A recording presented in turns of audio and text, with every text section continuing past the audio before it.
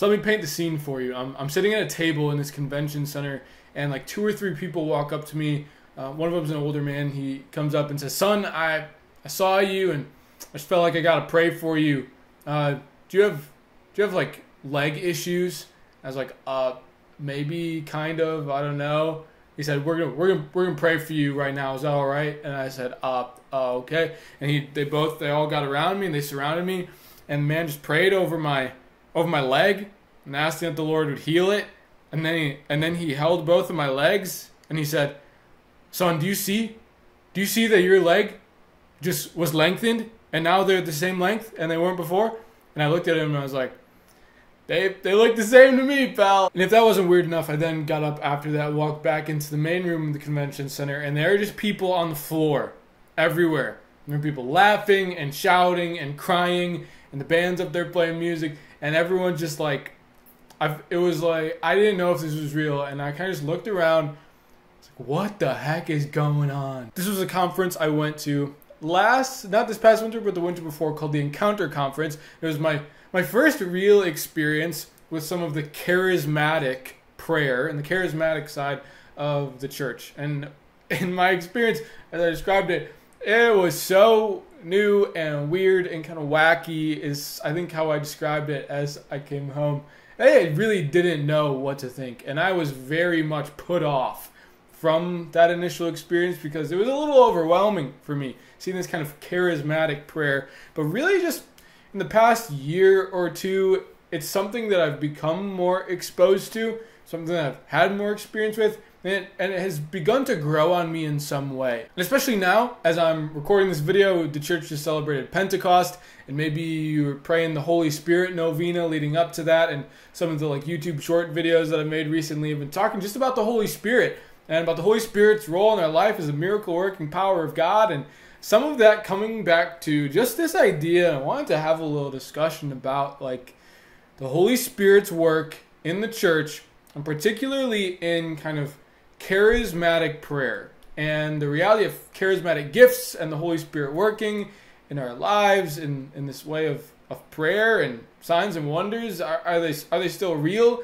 Are these kind of physical manifestations of the Holy Spirit is this real? Is this fake? Like wh- what do we make of some of this stuff? And maybe my take my perspective as someone who like never was exposed to that was exposed to it in a way that was like super overwhelming for me and I thought this is wacky and have now kind of made my way in to where like my my coworkers refer to me as like the the charismatic of the group. And it's something that I've begun to embrace a little bit more. So let's talk about it. So basically what we're talking about here is the Holy Spirit and its, its work in, in our spiritual lives in the life of the church. And when we're talking about maybe gifts of the Holy Spirit or fruits of the Holy Spirit, we're talking about a few different things. So first have the fruits of the Holy Spirit, which comes from Galatians chapter 5, verse 22 and 23, and St. Paul says, The fruit of the Spirit is love, joy, peace, patience, kindness, generosity, faithfulness, gentleness, and self control. These are kind of like the Holy Spirit lives in us. This is our attitude, this is our disposition, our character, how we appear to other people. Are we loving? Are we kind? Are we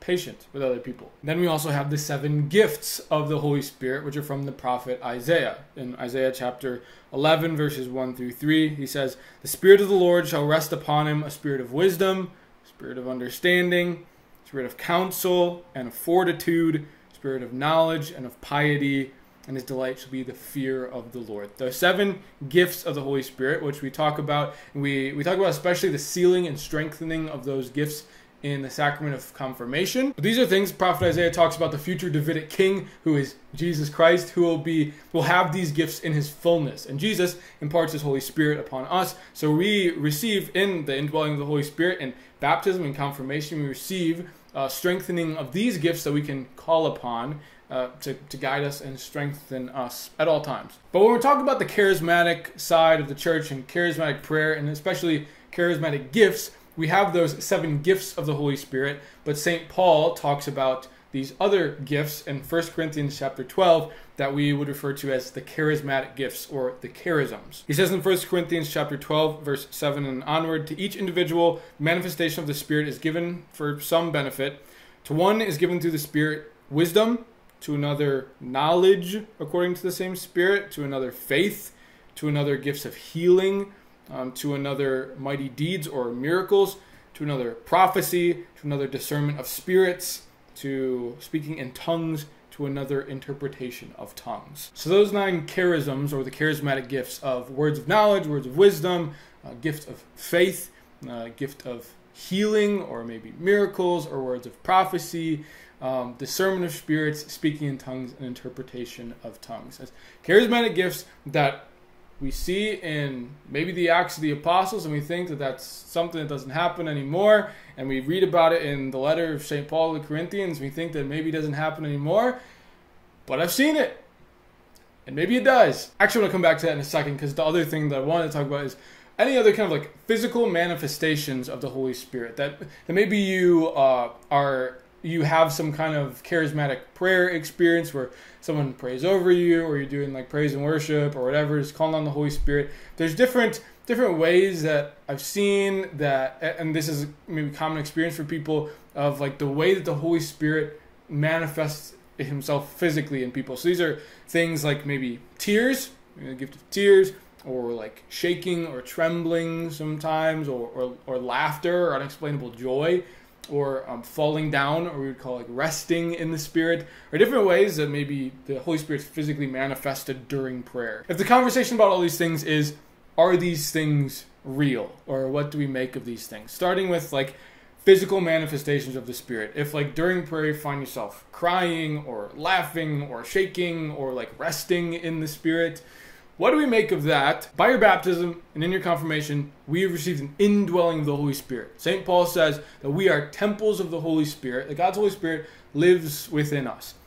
Also, that we are body and soul as a composite, as an integrated whole. It's not like our soul is just trapped in our body or our body encases our soul and they're separate, they're integrated. They're the same thing. So if I'm having a spiritual experience, then it makes sense that that would be manifested in some way in my body. In the same way that, like, if I experience something physically, then it can have and maybe should have an impact on my soul because they're integrated parts of what makes me whole. So if I'm praying and the Holy Spirit comes and is moving in me in some way, then it, it makes sense that it would be expressed and manifested in my body. So if you're like around people who are just like praying and maybe they're like raising their hands or they're moving around or they're, they're shaking or crying or laughing or maybe they're even on the ground, it's the Holy Spirit dwells within us manifesting itself because we are body and soul as one. So this is an integrated person having a spiritual experience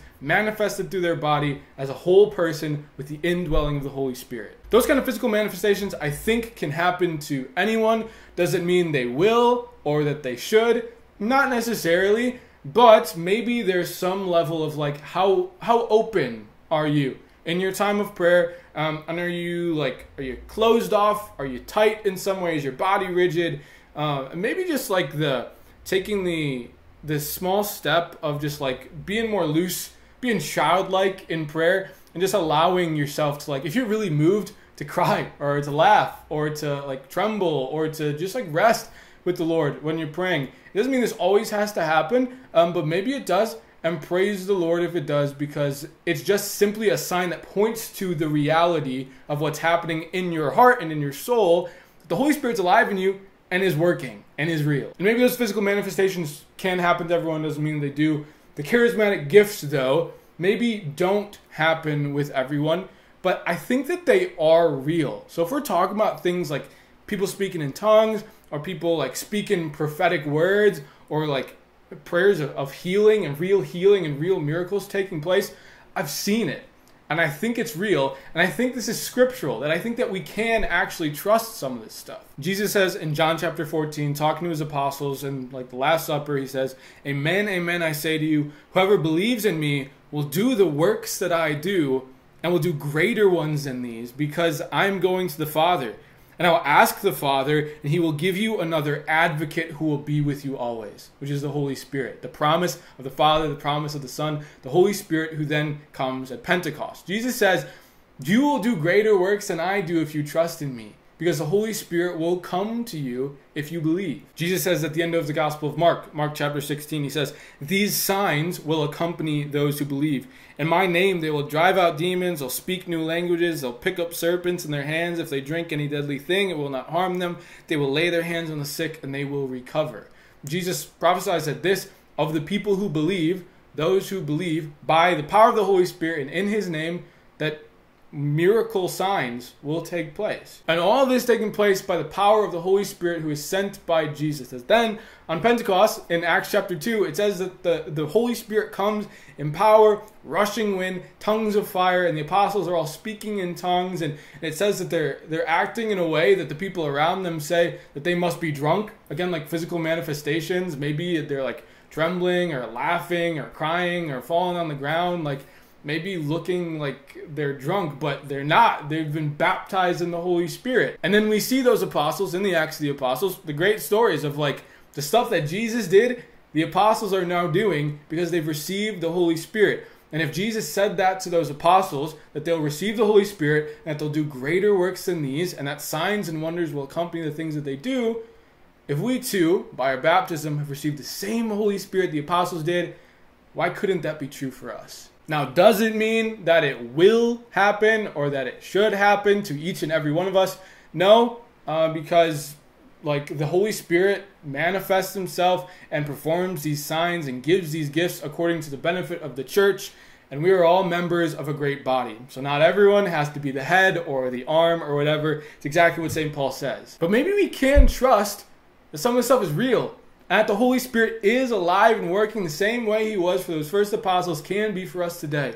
So, what kind of faith can we have just to pray boldly? The fruit of what this has been for me is to lean into this, is just to be so bold as to pray with people for some of this stuff. In the name of Jesus and the power of the Holy Spirit, the Lord said this. So let's pray for it. Maybe the invitation for you today is just to be so bold, to trust the Lord that He promised the Holy Spirit and He promised some of these things. And if we believe in Jesus Christ, then His Holy Spirit is still alive in us today. What would our lives be like if we lived knowing the Holy Spirit dwells within us and prayed boldly? Whatever you ask in my name, Jesus says, it will be done for you, and the Holy Spirit will come and live in our hearts as he does. I think some of this stuff can certainly be taken over the top sometimes, or some people might be doing it for their own benefit.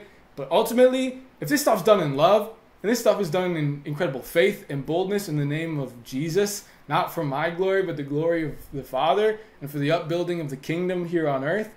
And praise the Lord.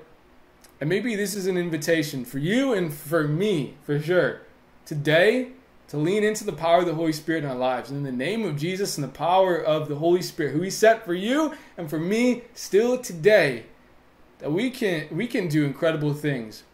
God can do incredible things through us by the Holy Spirit in the world, change the world, build up the kingdom that Jesus had in store all along.